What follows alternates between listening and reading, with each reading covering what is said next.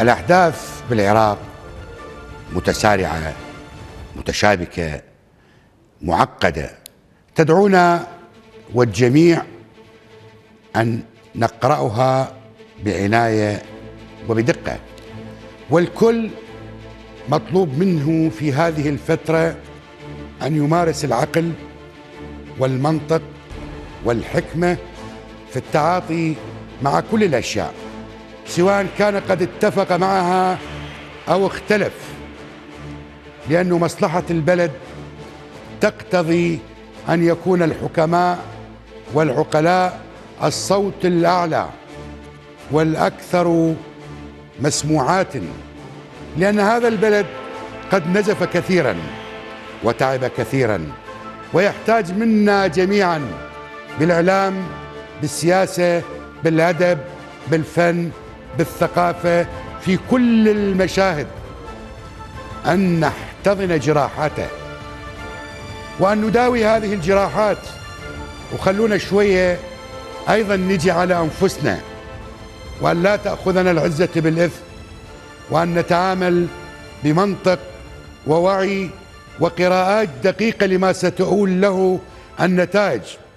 نعم لسنا كلنا نفهم بطريقة واحدة ولكن هنالك من يستدرك وهنالك من يدرك وهنالك من يتحسس وهنالك من يستشعر بالخطر. وحين يمر أو تشعر أن, أن وطنك بخطر فعليك أن تتخلى عن الكثير من أجل هذا الوطن الجريح. اليوم وقد أعلنت النتائج النهائية للانتخابات العراقية انتخابات تشرين لعام واحد وعشرين جميل جدا أننا توصلنا إلى هذه النتيجة. ومن المعطيات التي يجب أن تشير لها باحترام كبير أن المفوضية العليا المستقلة للانتخابات دافعت عن جهدها وعملت بموضوعية وآلية مع جميع الطعون. ولم تتعامل مع منطق الدعاية أو تخضع لمنطق التهديد والوعيد والذي تغير هو خمسة مقاعد.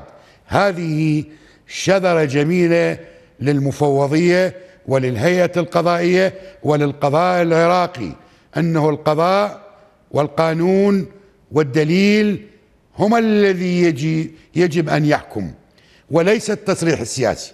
الجهة الثانية حتى القوى التي تسمى بالخاسرة ونقولها للتاريخ حتى هذه اللحظة تمارس حقا قانونيا ودستوريا وهذا حق مكفول ويحسب لها.